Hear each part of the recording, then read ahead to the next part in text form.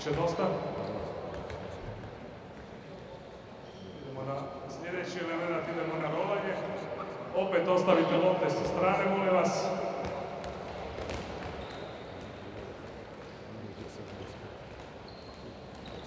Dakle, vidite, makar je ovo selekcija, dakle, selektirani igrači, čim se malo truda, dakle, posveti tim igračima, malo im se pojasni, brzo to ide. Dakle, visoki stupanj motorike, jel? koordinacije i tako dalje, sasvim sigurno da će to onda hodati. Sljedeći tehnički element je takozvano rolanje oko uzdužne osovine. Dakle, moram priznati da je danas jako mali broj kružnih napadača, možda 2 do 3%, ako ih i mogu toliko nabrojati, koriste rolanje kao način prezemljenja u rukometu, što sasvim sigurno, dakle, jest uvjetovano da li si sam na crti, da li imaš mogućnosti, da li si automatizirao taj način prizemljenja. Ali u nekim situacijama smo kada smo i ometani u zraku, gurani, povlačeni i i ne možemo se kvalitetno izrolati. Međutim, činjenica je, ako smo naučili automatizirali neke od načina prizemljenja, da ćemo ipak bolje prizemljiti bez neke velike traume, povrede, nego ako nismo naučili ništa. I sada kada bi vam ja pustio ovdje snimku kružnih napadača nakon šuteva koji izvode, svi bi ovdje bi pali u smijeh. Jednostavno, ne možete nigdje vidjeti dakle, kvalitetne načine prizemljenja, da su naučeni, da su automatizirani i tako dalje. No, idemo dalje. Dakle, rolanje se izvodi na sljedeći način. Dakle, kružni napadač, rekli smo, stoji bočno. Dakle, to je tendencija rukometa, bori se za poziciju, dakle, ne okreće se leđima, jel? bočno, okreće se, otvara se, podiže se na prste, radi otklon tijela, polueret, rekao bih, i nakon toga vrši rolanje oko uzdužne osovine. Dakle, ono što je bitno, postoje dva načina, vidjet ćemo kasnije kad budemo radili u pripremnim vježbama, kontakta sa podlogom. Jedan je sa podlakticom i sa nadlakticom, a onaj je drugi, dakle, sa ramenom, vanjskim dijelom, subscapularis'a i tako dalje, koji je sasvim sigurno kvalitetniji. Evo ga, još jednom će kolega sada, hop, izdemonstrirati i izvršiti rolanje, što sasvim sigurno, dakle, dovodi do kvalitetnije izvedbe šuta, ali ono što je bitno, do toga da se igrač ne povredi. Da mislite da sad u situaciji kad igrač skače sa ove visine jednostavno pada, propada i tako dalje. Ono što najčešće padaju istovremeno i na ruke i na noge. Dakle, kao veće od pijeska od 50 kg ili cementa i tako dalje. I onda se javljaju posle utakmice bolovi, traumi dakle, u rukama, ramenim pojasnima i tako Idemo mi na prvu vježbu, pošto nas vrijeme tjera.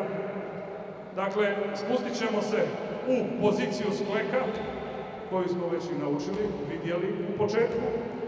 I nakon toga radit ćemo de facto, tijelo nam je malo opruženo, noge su raširene, najoptimalnije u širini kukova, eventualno malo još šire. I radit ćemo jednostavno prenos težine tijela sa jedne strane na drugu stranu. Dakle, podižemo lijevu ruku, podižemo desnu ruku i automatski radimo dakle, prenos težišta tijela. Dobro. Malo tresite ruke, istegnite ruke. Nakon toga idemo sada u rolanje ruke uz tijelo. Kao pretvježba spustimo se dolje stavimo laktove uz tijelo, ruke uz tijelo, tijelo je potpuno opruženo i jednostavno se rolamo u jednu stranu i rolamo se u drugu stranu. Rekao sam tijelo potpuno opruženo i ukručeno. Gledajte šta se događa. Dakle, svi oni igrači i igračice koji nemaju ukručene noge i ukručeno tijelo, gdje su pojedini zglobovi, rekao bih, iskaču iz sustava, su van, Dakle, dolazi do udaranja o podlogu. Tijelo mora biti kao jedna štanga ili jedna šipka koja se jednostavno valja po podlozi. I dakle, nema nikakvih trauma.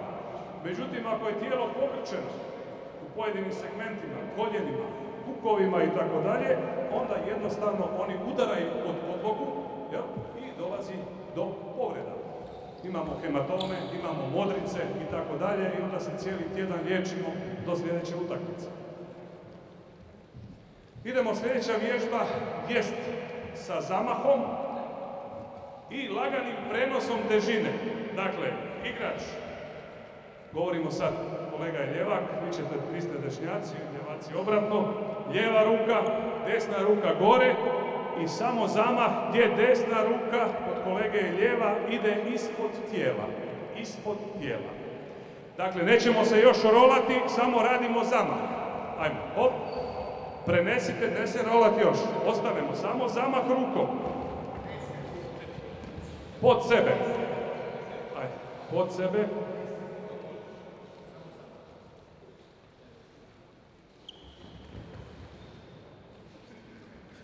Dobro, idemo promijeniti ruku.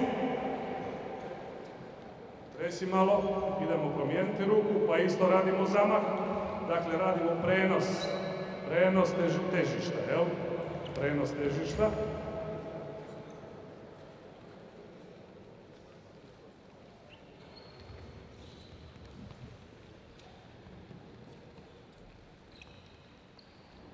Dobro, idemo nastavak. Dakle, sada ruka ide maksimalno, maksimalan zamah od ozgo prema dolje, ispod tijela i uspostavljamo kontakt po mogućnosti sa vanjskim dijelom ramena.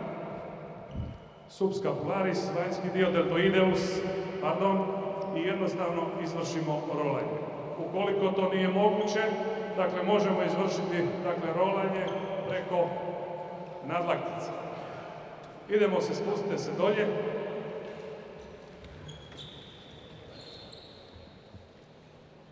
Zamah i tijelo potpuno uključeno, molim vas. Potpuno uključeno tijelo. Tako. Ajde, idemo.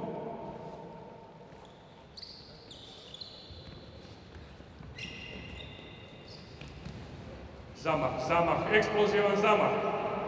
Za nekoliko minuta ćete imati loptu u rukama pa ćete šutirati prema golu tako da te ta sila ponese. Dakle, ruka nastavlja ispod tijela. Jel? Dakle, šutiraš i ruka ide ispod tijela. Dobro, sad ćemo se malo poigrati. Složit ćemo trojke. Dakle, ovako, jedan nek stane ovdje na obodu crvenog kruga ili por koraka u sredini drugi ovdje u sredini, treći do njega, pola metra razmaka. Ajmo, okrenut ćemo se svi, dakle u ovom pravcu, svi ćemo se okrenuti. Svi ćemo se okrenuti.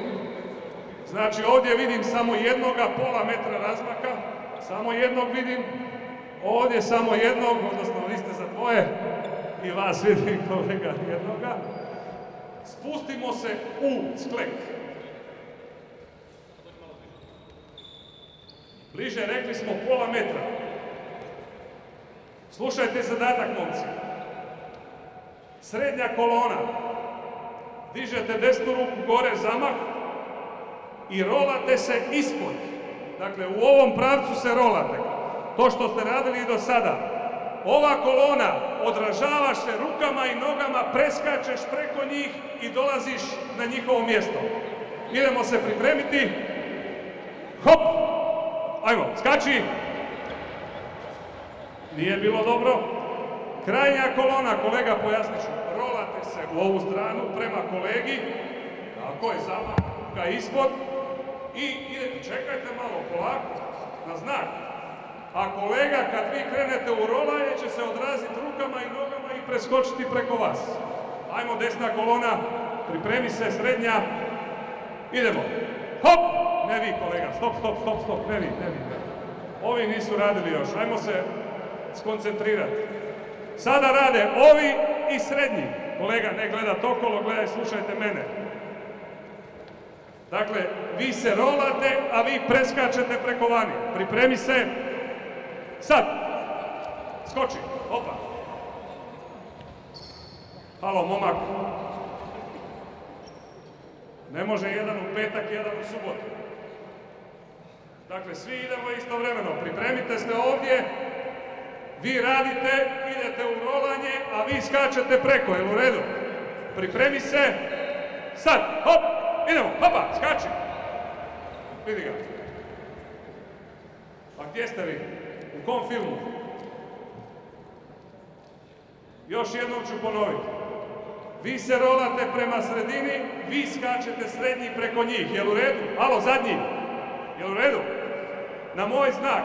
Znači, rolanje prema sredini, istovremeno odraz preko. Pripremite se. Sad. Hop! Idemo sad. Odmah srednji. Hop! Na drugu stranu. Hajmo. Ne. Ajde ostanite malo pa da se dogovorimo. Što je lijevo, šta je desno. Istegni ruke. Ajmo. Istegni ruke.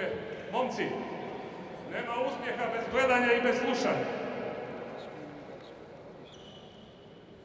Dakle, zadatak je vrlo jednostavan. Kako ćete onda raditi tehničko-taktičke zadatke ovdje koje se postavljaju pred vas? Ajmo, spustite se još jednom dole. Srednji, znači rolate se u ovu stranu, jel u redu? Kad se oni rolaju, preskočite preko njih u sredinu. Na moj znak, vi idete onda posle u rolanje na ovu stranu, vi preko njih. Dakle, vi sad ne radite ništa. Pripremite se. Idemo. Hop! Idemo srednja kolona, preskačete, a vi se rolate. Idemo, hop! Srednja kolona, rolate se prema tamo, vi ih preskačete. Idemo, hop! Dobro, hvala. Biće još potrebno rada. Istegnite ruke, molim vas. Kolega Panza. Istegnite ruke dobro, pa idemo korak dalje. Dakle, vidite, komunikacija, koncentracija popušta sasvim je normalno, jer gledajte, sad su oni napravili stotinjak sklekova, rolanja i tako dalje, polagano, dakle, sustav popušta, mliječna kiselina se nakuplja i jednostavno nisu koncentrirani, jel? Jednostavno imamo disharmoniju, dakle, ne rade svi onako kako bi trebalo. No, s vremenom će kolege poraditi na tome. Idemo dalje. Širite se. Dakle, idemo malo prema gore, prema situaciji koja je iz stojećeg stava. Možemo se podijeliti svaki drugi nek izađe tri koraka naprijed. Još, još, još, još tri koraka, tri koraka do centra. Dobro. Dakle, iz stojećeg položaja prenesemo težište na prste prednje noge i simuliramo, dakle, šut i jednostavno vršimo rolanje. Evo, pogledajte. Ono što je bitno ovdje, ukoliko nam naravno uvjeti dozvoljavaju, moramo stvoriti mišićnu napetost ovdje, izvući ruku, dakle ne ruka dole, da se ne gura, dakle to je sad već pivotmenski trening, jer iz ove pozicije imate i snagu šuta i možete usmjeriti loptu u bilo kojem pravcu, jel? Dakle, odavde ide samo guranje lopte, polu visoko i nisko, jel? Iz ove pozicije kad se dignete, dakle, možete i kroz glavu, i lijevo, visoko, i desno, i nisko, i tako dalje, i tako dalje. Ajmo, momci, postavite se, pripremite se, iskorak na prste, idemo, hop, zamah, hop. Ajmo, još jednom ćemo ponoviti, polako ste umorni, dakle, ne poniremo kao avion, dakle, ne ovo, momci, nego ovo. Izvući, pogledajte, ovdje morate stvoriti mišićnu napetost, nagnut se prema naprijed, jer pretpostavi da